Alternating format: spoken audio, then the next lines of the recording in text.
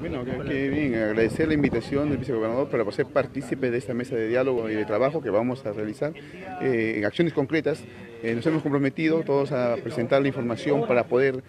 trabajar y proteger nuestro, pues, el borde costero que tanto daño se viene perjudicando a nuestro distrito de Huanchaco. Eh, el compromiso es de todos, de todos, pero con acciones, nuevamente conmigo, acciones concretas que vamos a trabajar. las autoridades que, hoy día se han comprometido es lo que vamos a presentar los informes este día miércoles, vamos a tener el Colegio de Ingenieros a presentar un,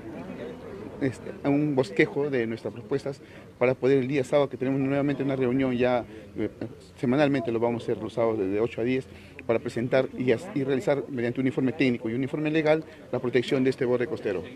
Eh, nos hemos comprometido de mañana, el día lunes, vamos a presentar un informe técnico con Defensa Civil, no solamente el del distrito de Huachaco, sino también el, informe que se va en forma coordinada con el jefe de Defensa Civil de la Municipalidad Provincial de Trujillo, eh, coordinar y este, presentar el bosquejo para elevarlo a, a, la Comisión General de Protección del borde, de todo el borde costero. Vamos a hacer llegar con el informe legal, el informe técnico, realizar las acciones necesarias para proteger todo este, este daño que viene ocasionando la erupción costera. Nosotros activamos y eh, concretamente tomamos acciones para poder realizar las mejorías necesarias y cautelando de alguna manera todo lo que va socavando la erosión, la erosión lo estamos realizando. O sea, nos, hacemos presentes en el momento, en,